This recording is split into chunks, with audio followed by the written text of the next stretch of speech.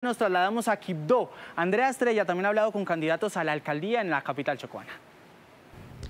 En el recorrido que continuamos haciendo en Plaza Caracol, seguimos escuchando las propuestas de los candidatos a la gobernación del Chocó y a la alcaldía de Quibdó.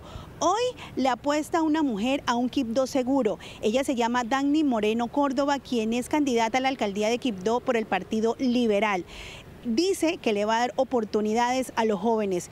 Dagny Moreno, ¿Cómo va a ser para usted darle esas oportunidades tan necesitadas a esta población?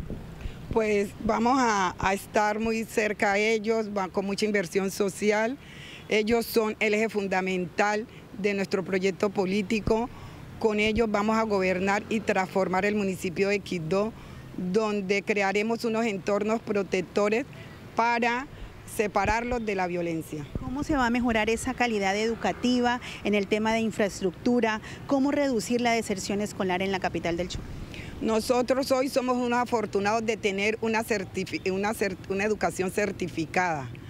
Junto con el gobierno nacional vamos a fortalecer la infraestructura, la cobertura y la calidad. Soy una convencida de que la educación transforma sociedades.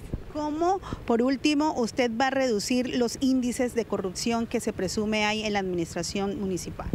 Enfrentaremos la corrupción con una de nuestras líneas estratégicas, el fortalecimiento institucional, donde trabajaremos con la transparencia, la eficacia, el buen uso de los recursos humanos y financieros. Y así construiremos un quito seguro para vivir.